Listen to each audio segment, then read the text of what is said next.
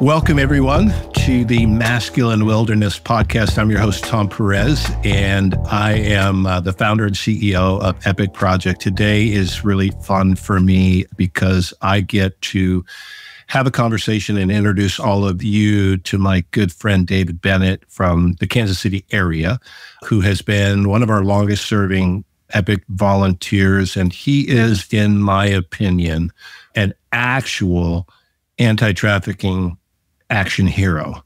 But he's not out busting down doors and beating up the bad guys. He's doing something really different. We've talked a little bit about it. But David, welcome. Tell us some of the things. We'll get into the nitty gritty of the work we've been doing together, but tell us some of the most important things about you that don't have anything to do with the work we're doing. And then we'll dive into that. All right. Thank you for the introduction, Tom. Something interesting about me, it's hard to determine exactly what to say about me because I care so much about this work. You know, often people ask me, tell me something unique about you. And I tell them I'm involved in fighting against human trafficking, sexual exploitation. And the look they get is like, what? you know, because it is definitely in my heart to do this work. Having a daughter that is 10 years old and being married for mm. over 20 years now is what I love the most is I love being married and having a family and seeing my daughter grow. And the world that she has to face right now is really scary. And for me to be yeah. able to know what I know, to be able to guide her and help her really brings uh, great joy to me and to share my story and what I do with others so they understand that this problem is not your, as we always say, the, your Hollywood episode. Right. It's not right. always the van pulling up and kidnapping people. It's not all about small children being abducted and sexually exploited. You know, it's about real people and they just, oh, okay. And it really opens up pathways for a conversation. And I could talk about it for a long time. yeah. Well, you're not a cop or a politician yeah. or a, well, you're kind of a minor celebrity, at least in our circles, but like you're just a guy. Yeah. Tell us about like your work. You've been working for the same company forever. Yeah in the primarily in Kansas City area, yeah. right? So I work for a convenience store chain called QuikTrip. I've been there for 28 years. And for me, knowing what I know now about human trafficking and the signs of it, I wish I would have known what I know now 20 years ago. Yeah. Just because, yeah. you know, I see the late night runs for women coming in and mm. getting their energy drinks and their food at midnight. And looking to go out. What I thought, you know, to go clubbing, but more like they were probably being trafficked. And since I've yeah. gotten involved, I have been able to use my knowledge, what I've learned to talk to women who I've suspected of being trafficked and making sure they're safe. And it's I've done it three times and it's gone overall pretty well. Wow. One time was slightly scary, wow. but you know, I kind of trusted God with letting this individual have my phone to contact a ride and it worked out.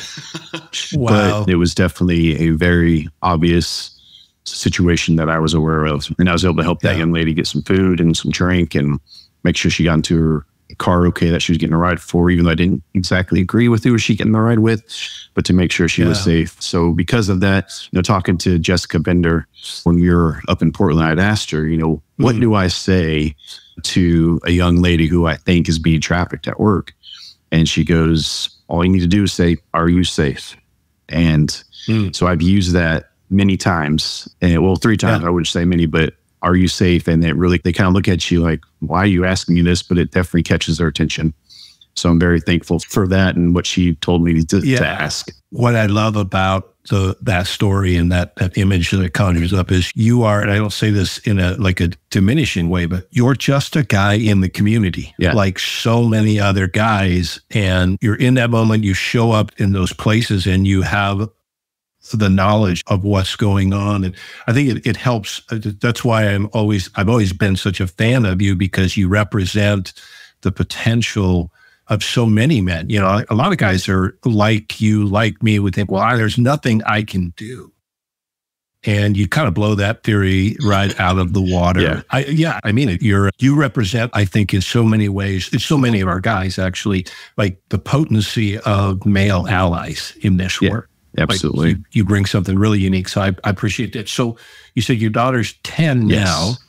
How old was she when you started with Epik? Oh man, so this kind of goes back just a real you know, quick background of, of my church. Yeah. We are very much involved in you know raising money for human trafficking. We're in year 15 of our fundraiser for Run to Stop It, and we hope to eclipse three million dollars this year total for wow. 15 years. That goes all directly out to human trafficking organizations like Exodus Cry and a local house here that we support and donate stuff to. And I bring that up because seven years ago, I just kind of got made aware of it more. Maybe I heard it before, but was more in tune. And I end up watching the movie Nefarious from Exodus Cry. And I'm watching it. They're one of their first. One of their ones. first ones, yeah.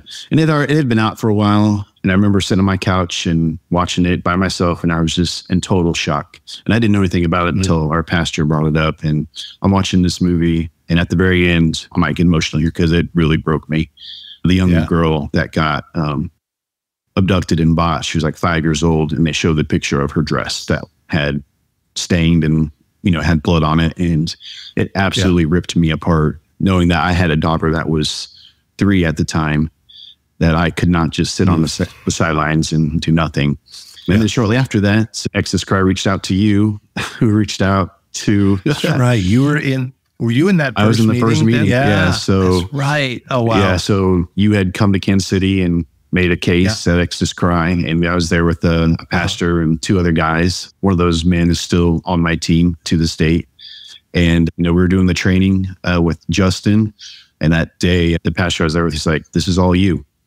And it kind of confirmed wow. what I heard probably about a year before.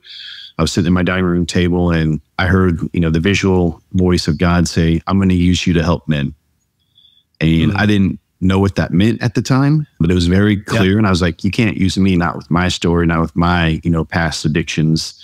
There's no way. And here we are now, seven years later, helping men, trying to call men out to be better men and how they talk with people and talk with friends and talk to women and you know, I'm very observant and I've been gifted with the, the gift of empathy, which really helps me connect with men or, you know, on the patrols. But we can go into more detail with that yeah. later. But I'm very thankful. Yeah. I think it's fascinating that you would have that sense that you hear God saying, I'm going to use you to help men mm-hmm. in response to the exploitation of women. So it's not, I'm going to, I've called you to, to rescue women. You said, no, I've called you to serve men. That's yeah. the really important distinction. So I will come back to the the experience with the patrols yep. themselves, and I want to circle back to the church as yes. well. But so you started this when your daughter was three. So you have been working with Epik seven years. Yes. Yeah. So you're raising a daughter, knowing what, seeing what you've seen. Yes. How is that for you? How have you learned to process the stuff? Because you've seen stuff, you've heard mm-hmm. stuff. Like, how has that been for you, and what role has your wife played in helping you navigate that? Well, you know, I can remember back to my very first patrol. I know we're going to get back to patrol, but this is very big in yeah. my just in how I, the way I am, and the support that my wife gives gives me. I yeah. had done a patrol, and I'd gotten home from the patrol late, and she stayed up for me because she knew it was the first one. And Tom, I couldn't even like look at her or talk to her because I felt dirty. Mm. I felt like mm. I, I couldn't have a conversation without, you know, because of what I just experienced. You know, and say a little, say just a little bit about what you experienced, um, so just, that some people might not know.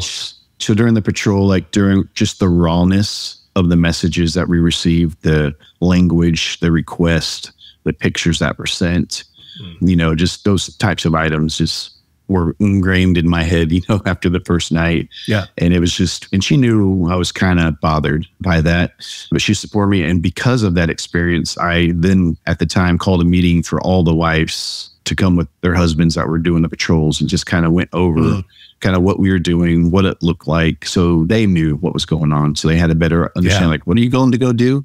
You're going to go do what, you know? yeah. And like, we can like circle back to the patrols later, but I wanted them to have a good understanding of what, why we were coming together.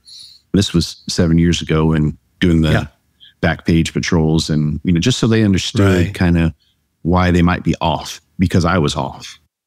You know, right, right. it was one of those things. Ooh, so go ahead Yeah. So for folks who don't know what we're in detail, what we're talking about, the patrols is an intervention program that Epik's been doing now for 11 years. Dave was one of the first generation of volunteers that started doing this. A patrol is a team of guys with dedicated hardware and software in a secure location, posting fake ads online, selling sex and interrupting active online sex buyers. And this is a an ecosystem that is responsible for a huge proportion of actual sex trafficking. So we are basically inserting ourselves into that transaction. So you were you had posted ads and buyers were responding. Yes. What was the conversation with your wife that night? How did you explain that to her? I honestly I didn't even know what to say. I mean, we both knew that I was bothered by it, and she didn't press too much. And I eventually did talk to her kind of about you know what I saw, what I did, you know. But because of that, you know, and I tell all my guys if it's their first patrol, that I, I give them that warning, and then now I'm yeah. able to like you know I tell my guys I'm able to turn it on and turn it off, you know, because I have yeah. to. Yeah. And about kind of circling back to the question with my daughter, just yeah. last week, literally, we have gotten her phone and I got lots of stuff on there to protect her. I know there's still ways that, you know, predators can get to her. There's things that she still may not see. Yeah. And she's 10 and she had responded to an unknown number and had mm. given her name. And I had to get my, not anger, but my worry out of me. And I had to talk to her and say, yeah. hey, you know, you cannot be doing this. And if it's a number you don't know, you don't respond.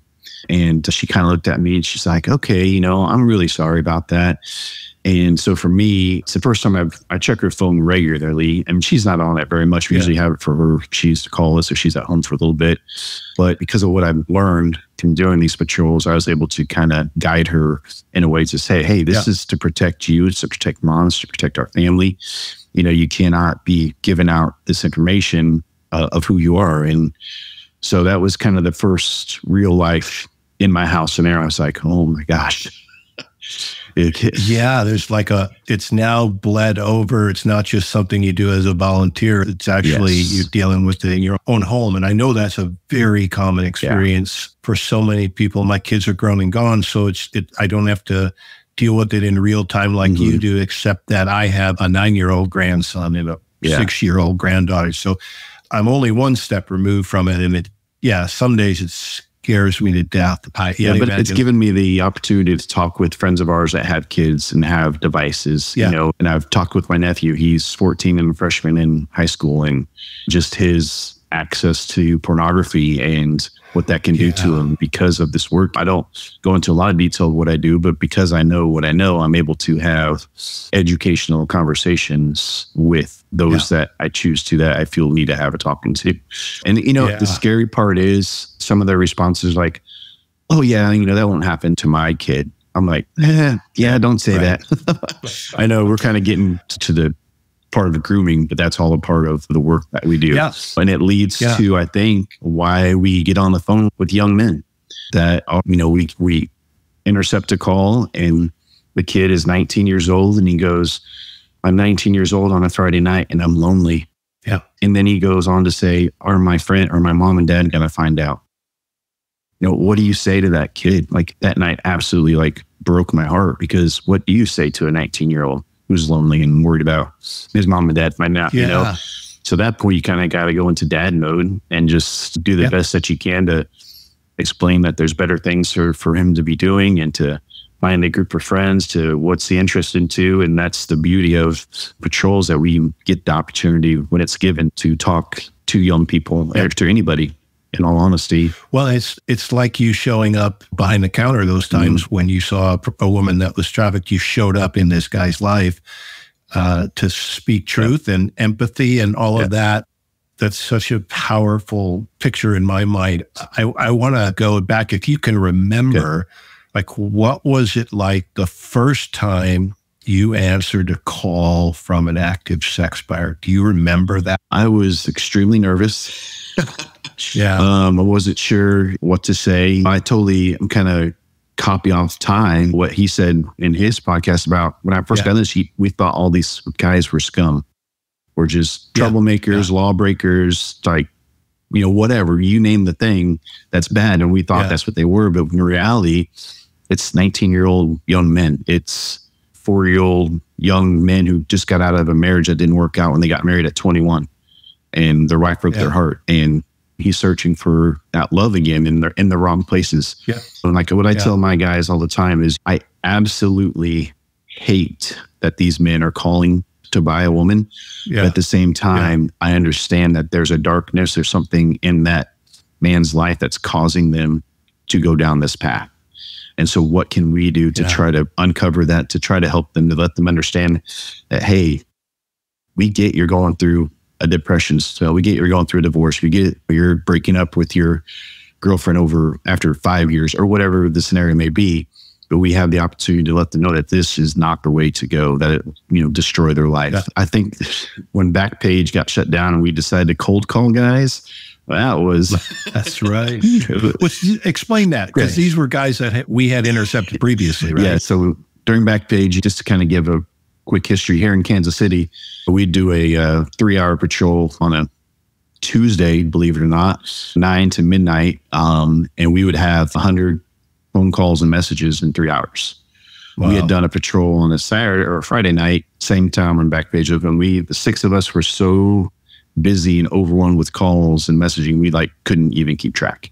I mean, my guys were like, "Oh my gosh, this is nuts!" I'm like, "Yeah, it is." So when Backpage got shut down, I think that was at what's that 2018 eight spring of 2018. I yeah, believe. we were kind of put the patrols on hold, and they're like, "Hey, let's call the guys that we had phone numbers from."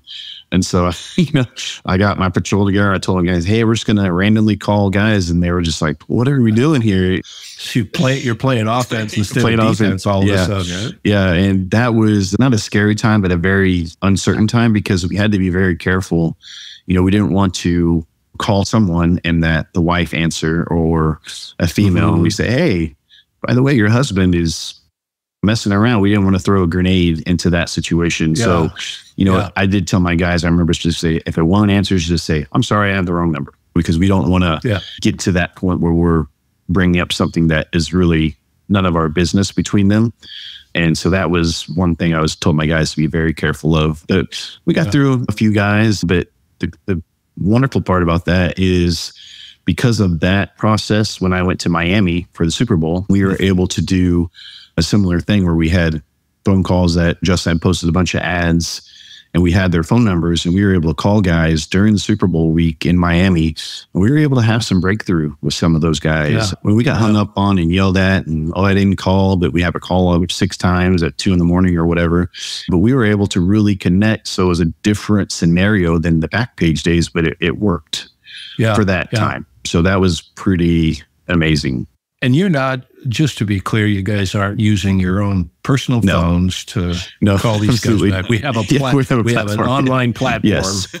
Wow. Tell me a little bit about like your guys. You talk to them so fondly. Like, are they guys like you? Oh, like who? Who are? Oh yeah, you know? I had a actually. I've had two guys that one is still currently on my team, and one has, excuse me, moved on. But they both had been recovering pornography addictions and Brilliant. doing this work enabled them to find some freedom, to find some like help from the guys at the table that were doing the patrol and being able to talk to other men that were obviously going a step further than they were, but it, it was some healing for them. And to mm. me, that was an amazing thing. They're your everyday worker, just like myself. I did have a law enforcement person on my team, but he never brought up his law enforcement piece.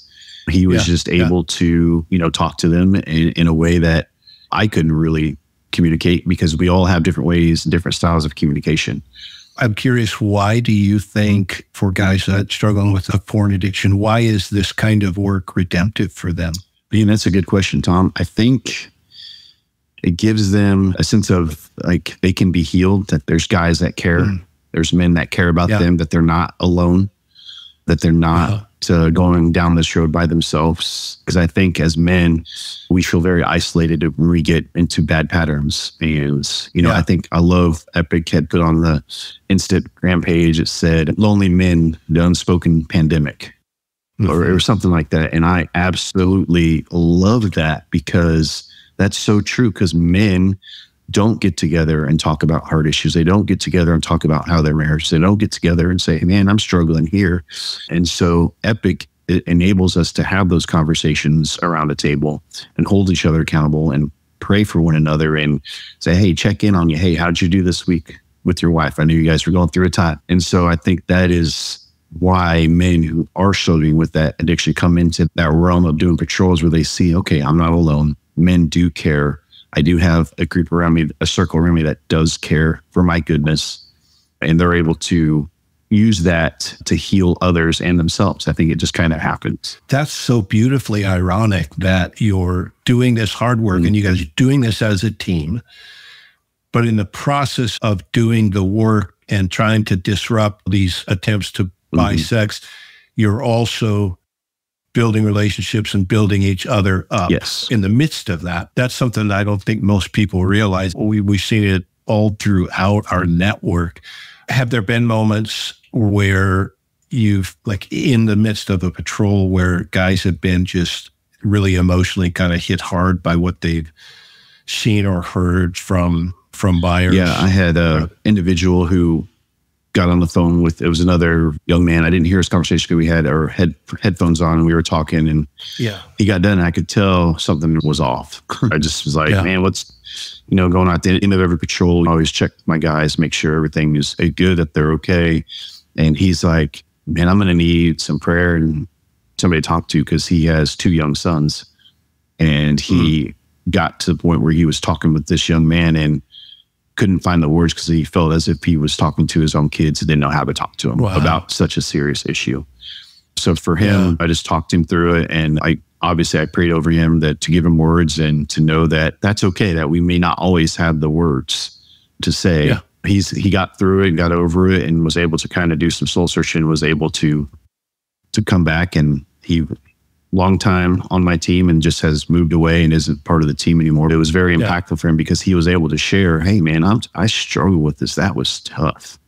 Yeah. And we were yeah. like, "All right, man, what can we do for you?" And you know, just having that that brotherhood, that that time together, just strengthened him to know that, hey, again, he's not alone in this. Like, I think that's the biggest thing. Like with men, we have so much pride, we have so much ego that we don't want to yeah. talk about our struggles. We don't want to talk about what's really bothering us. But if you have other men around you that are talking about it, then we open up. And I think that's where the healing yeah. starts and how, you know, we can change the world is by just changing yeah. the hearts of man. And I think that's the biggest objective that I love is my team, but then able to share that with strangers calling yeah. to buy. Um, yeah, that's such a potent yeah. thing. Are all your guys or have all of your guys come like you from a church background, or are there guys that, that don't have any connection there but are still um, engaged um, with you doing yeah, all work? of them have come from a, a church background yeah. because our church is so into running, raising money for human trafficking they're yeah. kind of not easy to pick for them to be able to do more than just sign a check over and say, here you go, but for them to actually do something right. tangible where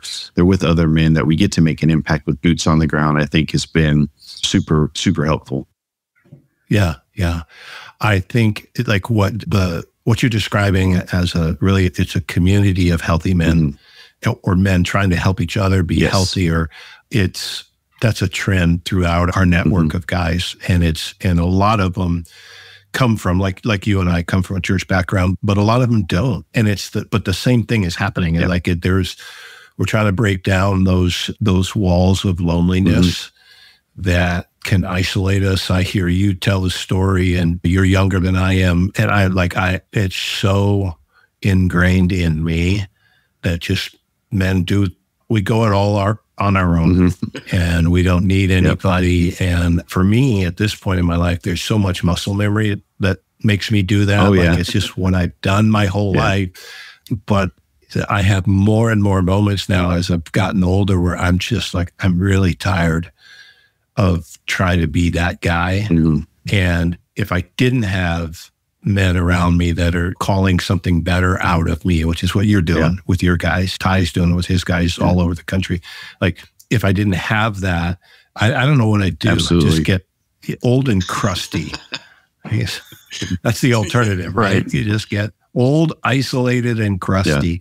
Yeah. Uh, do, do you have any experiences in the patrols that were just like, holy cow, this guy really gets it? Like where your message and your approach to these buyers really was like got through? Are, mm, have there been moments? Yeah, if I could, I'll share two that really stick out uh, for me. One of the biggest things that I encourage my guys to do is when they get a buyer texting or on the phone, I make them question the buyer and say, "Hey, we, how would you feel if somebody was buying your sister, your mother, your niece?" And they all say, "I would absolutely hate that." And then we respond with, well, that's what you're doing. You're buying somebody's. And for them, it puts life to what they're doing. Like, oh, uh-huh. we're not just a commodity. I can just go out and buy that. That's a real person. And that's a real person yeah. that has a heart and soul that is somebody's loved one or whatever. So that really, I always have them do that. And it changes the dynamic of the conversation. If we can get that piece in there, because it makes them kind of sit back and realize, okay, what's this guy talking about? At that point, I think they realize we really are there to talk to them and not try to bring yeah. them down, talk them down. We had to shame, shame them, them exactly. Yeah. One story I'd love to share that is probably been the most impactful for me is I had got on the phone with a buyer. This is post Backpage, but still a little while okay. ago. And I'll never forget him. And his name is Joseph, but he went by Joey when he was buying. I got on the phone with him and we're talking. And then just to be clear, we don't, you know, bring church and religion into the conversation. That's not our goal. But if you feel yeah. that opportunity is there, then we definitely use that to our advantage if we can. And so I'm talking to this gentleman and he says, or I ask him, Sir, do you you believe in God? Do you know Jesus? The reason I asked is because he said his daughter was homeschooled. I'd figured that out throughout the conversation. Mm-hmm. They were being homeschooled, so I just associated that with being believers. That's, that's a pretty pretty, yeah, natural, pretty natural connection. connection. Sure. He's like, sure. He's like, well, how did you know that? Or he goes, how did I know you're going to hit me right in the face with that? And I'm like, I'm just asking, man. And he's like, yeah, I am. And I said, do you mind if I pray for you over the situation? He was like, what? I go, yeah. Let me. Can I pray for you? And he was like, okay. And I'm praying for this guy, and I start hearing him crying, like just crocodile tears, like can't hardly mm. catch his breath. Like, and I got done with the prayer, and he's yeah. like, Man, thank you so much. I goes, I'm going to get help. And I had said, Can I call you back using our platform in a week to see how you're doing? And he's like, yeah. Yes, you can. So that was a Friday. Then I come, then Sunday, I go to church and during this worship song, I'm praying for Joseph, just praying for him, like just during worship, just hardcore, just all about him. And then I talked to him on Thursday that week. And uh, so we've been playing kind of text tag throughout the week. And he goes, Sorry, I've been busy. He goes, Sunday at this time, he told me it was the time I was doing worship. He goes, I sat down with my sponsor, which means he had been an addict or something before. Oh, so wow. he was having lunch okay. at the time. I was just praying for him. Oh, yeah. and I shared this yeah. with him. He's like, Are you serious? I'm like, Yeah. And I go, How are you doing? He goes, I'm doing really good. I've talked to my wife already about me playing around on business trips. And I thought I'd always go on these business trips to make myself look good to the company. He goes, But I realized after talking to you, talking to my sponsor, that it was so I could mess around and treat myself. And wow. I, he goes, So moving forward, if I do have to travel, because my daughter is homeschooled. I'm going to take my wife and daughter with me. And while I'm in meetings, they can go whatever around the town and make it a, a family deal to where yeah. kind of holds me accountable. And he had credit cards that he had hidden and but he only did it when he traveled. And so for wow. that, that follow up for him to come to that realization. And he's like, I really appreciate you talking to me and making me realize some things I was not being very aware or very conscious of. We'll be right back after these messages. Did you know we have a new show? Join us in listening to Shop Talk, an extension of the Masculine Wilderness podcast, where your host, Tom Perez, and me, your producer, Lauren Trantham, get together to talk about the behind the scenes action that goes on within the anti trafficking movement, current events, and Epik news. It's free to subscribe. Just head on over to our website at epikproject.org and sign up for our newsletter, and you will be automatically opted in to receive these private episodes. See you at Shop Talk. And now back to the show. There's a beautiful pattern here of how you show up in people's lives. And like in this yeah. case, through the patrols, showed up, you exposed just by being there mm-hmm. and being empathetic, really. Yeah. Said you helped him uh, and exposed so mm-hmm. many of these secrets that he had been carrying. Yeah. That is a that's such a delicate and significant like trust mm-hmm. that you built with him. Why do you think that happened? Tom, I, I don't know. Just I don't know. Maybe not shaming him in the moment, not hmm. telling him he was a terrible person in the moment, not calling yeah. him stupid. Why would you do that? Just all the things we would want to do, right. like in the moment. Right. Exactly. Right? Yeah. Like all of, but just yeah. all the impulses. Yeah. But just trying to hear him out and like let him talk to you so you can try to figure out what can I maybe say to maybe help him or give him some seed of hope. Yeah. And so that yeah. for me, and that doesn't happen all the time. Trust me, I wish that it did. But those times that come up, they really do. Yeah. Just I'll share two more with you. Yeah. Another one was I was talking to a gentleman on he was texting on the platform of our patrol and he said, I will call you when my wife falls asleep. And so he, he texted mm. me that. And so for me, my wife and I were pretty, we're marriage leaders. We've done marriage counseling with other couples before. We've helped other couples. And so that yeah. for me busted me up. And I was so angry. I was so mad that here's yeah. this guy texting, I'm to call you. This is my wife falls asleep. Yeah. Thinking thinking you're a woman Correct. who's going to hook Correct. up with. So I told my guys I had to step away because I, I was very angry. I was like, I cannot believe this guy. Are you kidding me? And I went down and kind of had some alone time. And I went back up to the room where we were doing the patrol. And I said, Did he call? And they're like, No, he didn't. I was like, Good. I didn't want to talk to him anyway. And yeah. then driving yeah. home, I kind of heard a small set of voices that said, David, you are the one to talk to that guy because of where your marriage is at, because of what you've been through you need to take mm-hmm. those calls. And so for me, it kind of was like, all right, okay.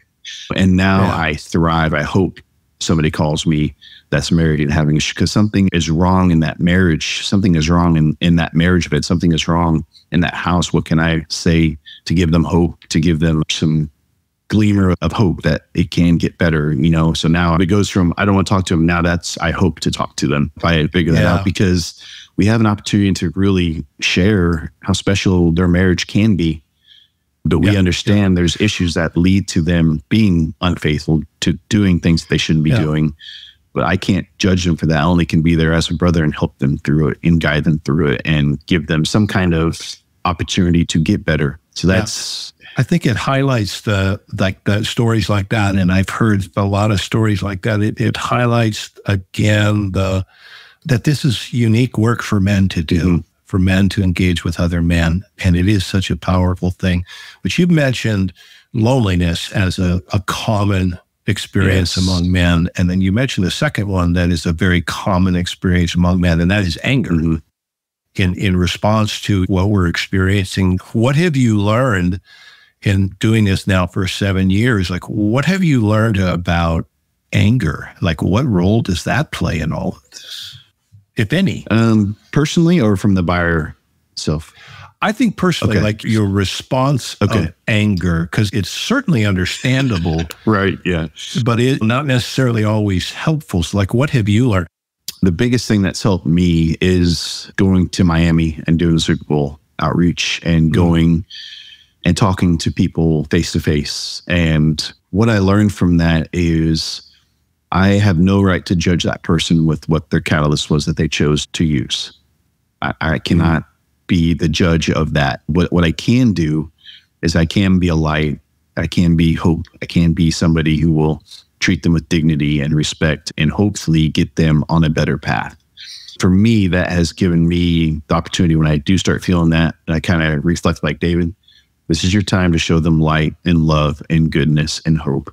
You cannot show them you know, you cannot show them anger. You cannot, you have to yeah. be and meet them in their darkest moment. Like that was the big thing in Miami. That was the biggest thing that was preached there is like these people are in dark places and they are going through yeah. things that they maybe were controlled most of the time, probably are not. They're learned behaviors. But what can we do to help them, to guide them without bringing shame? Because the last thing you want to feel if you're going through a lonely spell or feeling broken is oh here's more shame. Let me dump more on on myself.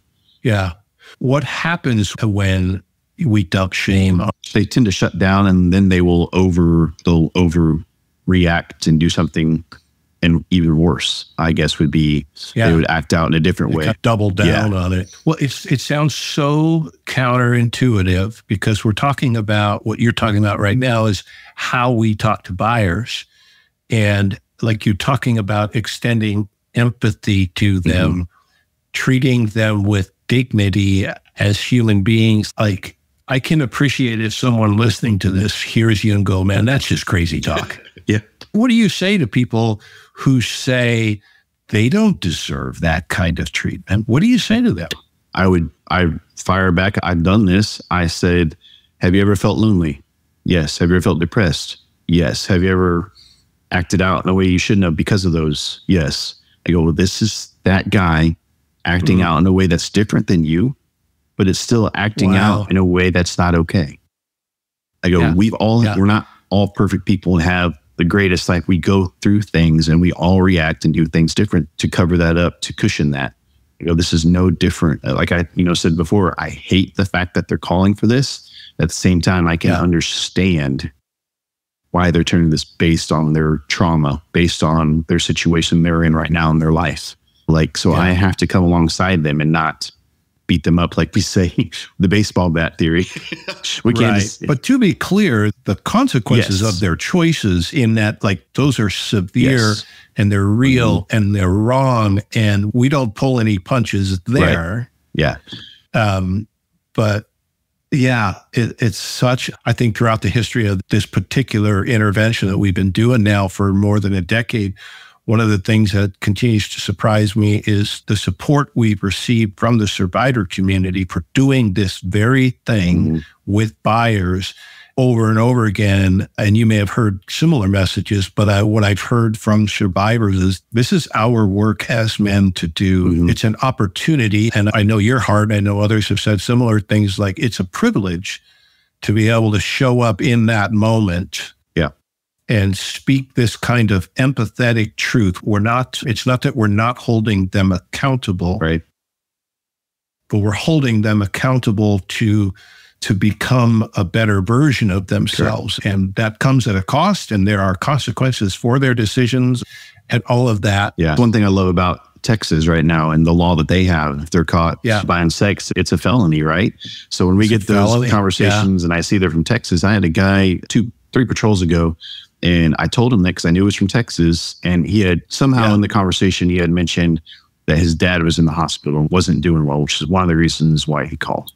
And I was like, yeah. And, and I told him, I go, sir, I understand that. I don't have my dad anymore. I don't have my mom anymore. I go, and if you get yeah. arrested and put in jail because of this choice tonight or a future choice, you're not going to be able to be there for them. You're going to miss these times.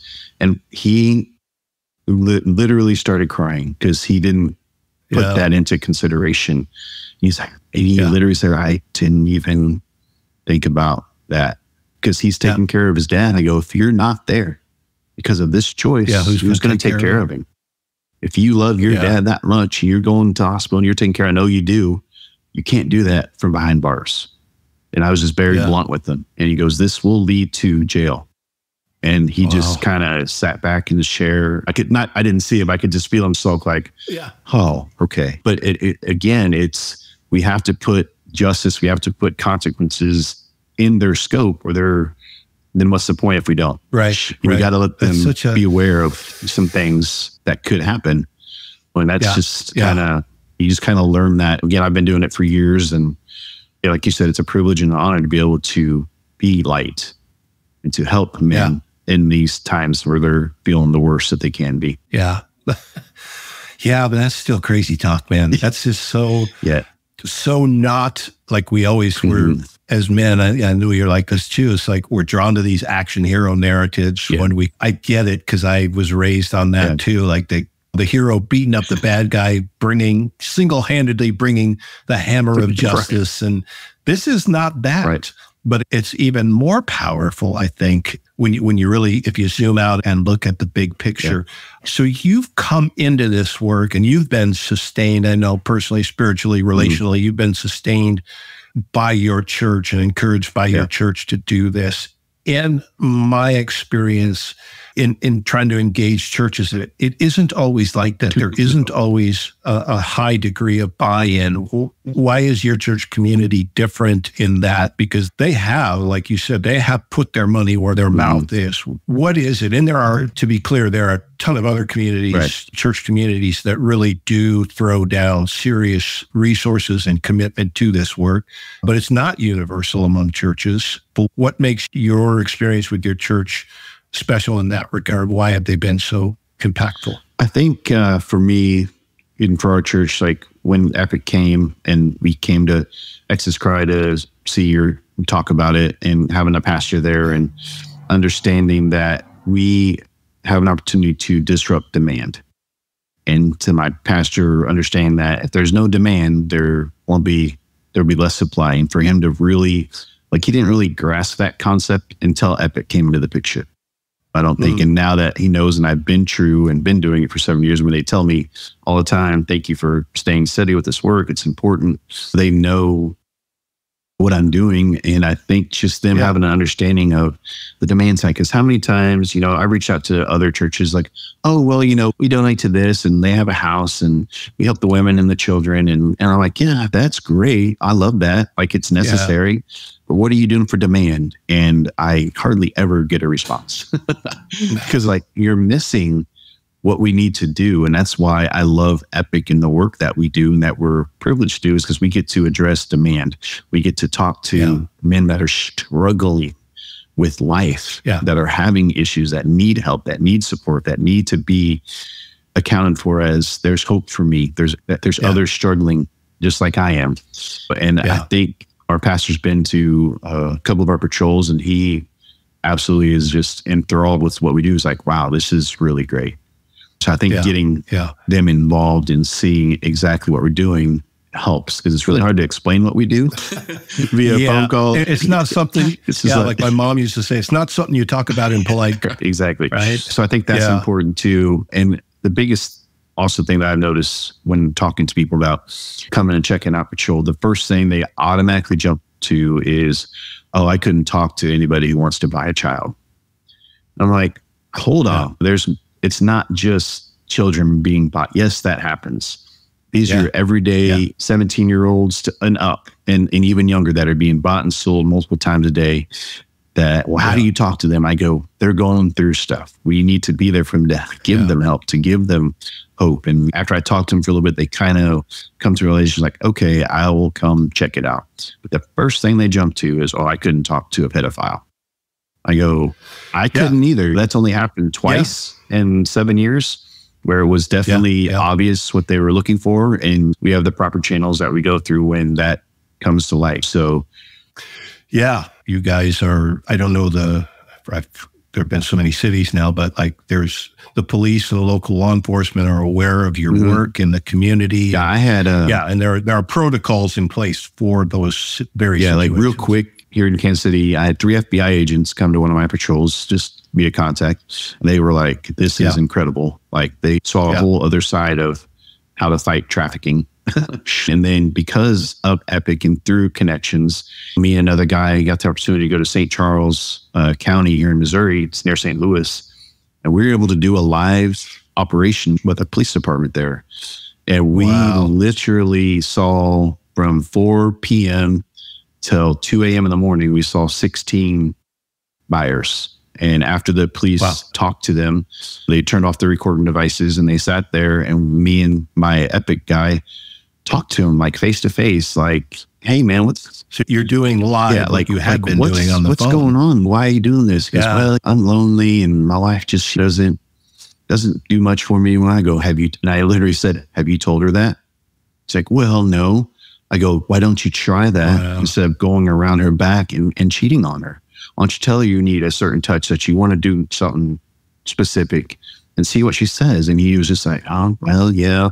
They want the easy button instead of putting Yeah. the work into Yeah. it. And we saw every buyer that you could imagine, your high end banker to your 19 year old young kid that just liked to have sex, that just would pay for it because he liked to do it. And Yeah. it, it was an amazing time. And even the detective was like, I don't know how you do it. Like he was just couldn't believe like the things we're asking them and just talking to him and kind of shed some light for him. Like, oh, I didn't think about why he's doing this or why Yeah, yeah. he decided to act out in this moment. So when law enforcement gets to kind of see and experience what we do, it kind of lets them understand that, hey, we we're in this for the good. We're not in this to pat ourselves on the back. Hey, look at us. We can be heroes too.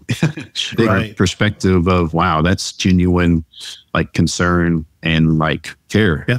So that's one thing I love when we get those opportunities to to do a live thing. And that's that says so much about who you guys are that law enforcement will trust you mm-hmm.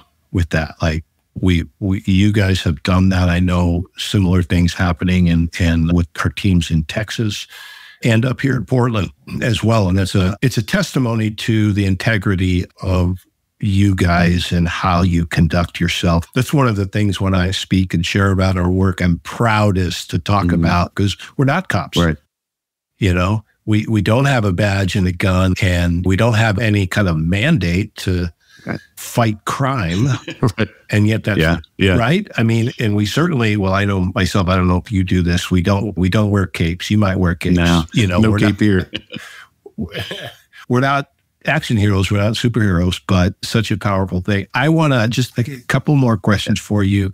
One is when you're not doing this obviously you're in it Mhm. it's a part of kind of how you show up in the world but what are the things that you do that are life-giving for you that kind of help you recharge and restore yourself? Because this work takes a toll. What's life-giving for you at this season of life?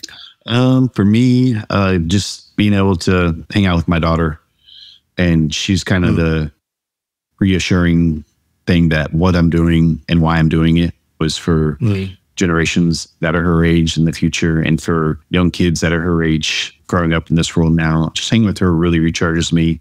I listen to uh, a lot of jazz music and. I'll have yeah, I'll have a cigar and drink some bourbon, and that's kind of relaxing for me. Most of that's recharging, and then my wife and I Yeah. make it a point to go out and have a date night at least once a month, and we try to get away once or twice a year, just her and I, without our daughter, just to kind of Yeah. recharge ourselves, recharge our marriage. Because we've been married, see, 2000 or so, 21 years spent together for. Get this right. I got to get this right. Yeah, been married for 21 years, together for 24 and that just recharges us and we both need recharging and for her for a while just kind of a little segue here she was a school nurse Yeah. for the kansas City, missouri school Mhm. district which is a really it's not a great school district It's lots of poverty lots of Yeah. lots of a lot, of vulnerable yes, kids And so for a while there, she saw the thing things that I was talking about. And so we were able to kind of Yeah. pray over those kids and those people. And she was able to say, Well, this is what my husband does. And and every time she shares what I do, like when Yeah. it comes up, they're like, What? They just don't understand. you know, they don't get it. yeah. It's like, what does Yeah, he do again? But then when you talk to people and you talk to, we were on a trip and we met this two other couples. We were just all sitting around at this resort and I started kind of sharing what I do. And they were just like, that is amazing. Wow. And for me, those Wow. opportunities where you don't expect, not necessarily confirmation, but goodness from people about what you're doing really helps get those batteries recharged and, and to keep pushing on. Yeah. The biggest thing is just having the time with my daughter and just being with the family just really recharges. I've recently gotten to pickleball, so that kind of Oh, there it is. that's kind of fun. So Good for you. yeah, it's that's been So, loop, I want to loop back. Just give me the, the right up top of your head. Current favorite jazz is who are you listening to? I'm gonna go just old school. I like uh, good old saxophone, just Dave Koz. Okay. All right. And current preferred brand of cigar? Uh, right now, I am on what is it called? Oh gosh, shoot, it's not. I can't think of the name of it, but I've been on a little tear. I'll go with. The, okay. I'll do a, a short little Nub Cameroon, and I pretty much have those all the time. That's a Okay. consistent And one. And then current favorite kind of go to bourbon? mixer or straight. Straight. Straight. Okay. I'll go with, I'm just looking to have, let's see, I got look at my calendar. No, I'm probably on a little Sazerac rye run right now. I've been enjoying that with an ice cube. there you go. There you go. That's yeah. great. All right. My, my last question, because I want to give you the last word on the day that your daughter graduates from high school. What is one thing that you hope is different in the world of men that she will encounter? Her and her friends. Um, I want her to encounter men to be respectful and to have um, heart and be vulnerable and be able to talk more openly about things that are bothering them than what we do in this current state of mind, and that it's okay. David Bennett, you are you are a real live epic action hero, and you're blessing. And I'm so proud to just be in this with you. So thank you. Yep. Thank you, Tom, just for thinking of this years ago and doing all that you do behind the scenes and Justin and everybody that's involved at Epik. I mean, it's quite a amazing organization to be a part of and to volunteer for and to know that this is so important right now in this world and yeah. so necessary in that we need men to to be different and to be better. And this gives us the opportunity to give that encouragement and to make men better as small as it may be at first to like we always talk about the small circle and then it slowly expand out. One guy takes yeah. a piece of what we do to another group and then just continue that whole process. So i'm excited for the future. I'm excited for what Epik's going to do. And most importantly i'm just excited for how we can change man over the next few years. Yeah. Because it ain't going to happen tomorrow. It's not going to happen next year. Yeah. It's going to take time and, and diligence and Epik has everything we need to be able to do that. I strongly believe that. I love the way you show up, dude. Thank you. Absolutely. Thank you for this opportunity. I, when I saw the podcast, yep. and I was like, oh, I really want to get on that. Here Just you because are. Yeah. I think it's important for more volunteers to share their experiences, as they may all be very similar. They're all still very unique yeah. in their own way. Yeah. And I think, and I think yeah. other we will be doing yeah. men need to hear it. We will be having more of them yeah. on. Yeah, I want people to hear more of these stories. Yeah, and Thanks, not to like boast us or like, oh, look at us. Look, at, no, it's to show that we care and that we can change, that we can be vulnerable and open to helping others, even if we don't agree with their decisions. Yeah, yeah that's great. Thanks. Thank you for listening to the Masculine Wilderness Podcast with your host, Tom Perez. This podcast is a production of Epik Project, a nonprofit organization dedicated to disrupting the demand for commercial sexual exploitation and dismantling the forces that perpetuate it. I'm your producer, Lauren Trantham. Special shout out to our favorite logo designer, Michelle Boucher, as well as Wes Finley, who crafted and donated our amazing theme song. Interested in sponsoring an episode? Send us an email at podcast at epikproject.org. That's podcast at epikproject.org. As a nonprofit organization, your donations allow us not only to produce this podcast and change the conversation around sexual exploitation, but also to manage our many programs, such as buyer intervention, teen prevention, and community education. Your support also allows us to support survivors of exploitation and more. To learn more about our work and to donate, visit www.epikproject.org.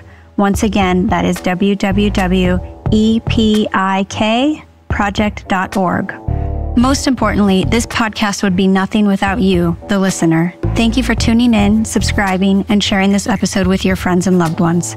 Thank you for your commitment to learning more about the issues that affect our most vulnerable populations. Thank you for navigating this masculine wilderness with us. See you next episode.